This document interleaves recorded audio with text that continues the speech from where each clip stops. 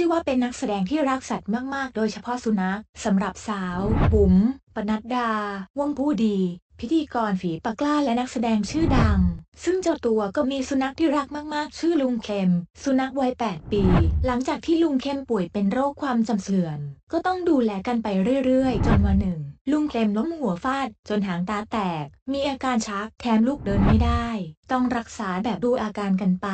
แฟนๆ ต่างเอาใจช่วยให้หายเร็วๆ ล่าสุดซาวดุ๋มอัปเดตอาการป่วยของลุงเข็มหลังรักษาอาการป่วย จนดีขึ้นแล้ว บอกว่ากลับบ้านแล้วค่ะ ค่าใช้จ่ายคราวนี้ ขาดไม่กี่ร้อยแปดหมื่นที่บุ๋มบอกราคาไม่ได้อวดรวย บอกตามตรงว่าตึงเหมือนกัน แต่อยากบอกว่าเมื่อเราตัดสินใจเลี้ยงเขาแล้ว ก็ต้องดูแลรักษาเขาให้เต็มที่ อย่ารักเขาเฉพาะตอนที่เขาแข็งแรงและน่ารัก อยากจะเลี้ยงสัตว์ต้องรับผิดชอบได้ยามเขาเจ็บป่วย เพราะเขาก็มีชีวิตและหัวใจ หลังจากที่โพสต์นี้ถูกเผยแพร่ออกไป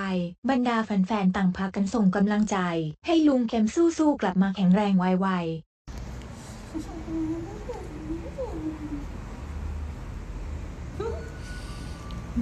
ถึงแม่แล้วคิดถึงแม่คิดถึงแม่ตอนนี้ลุงเข็มสภาพคือครึ่งหลังวิววิววิววิววิวอ่า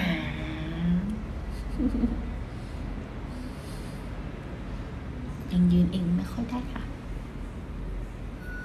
แต่พยายามจะอืมอืม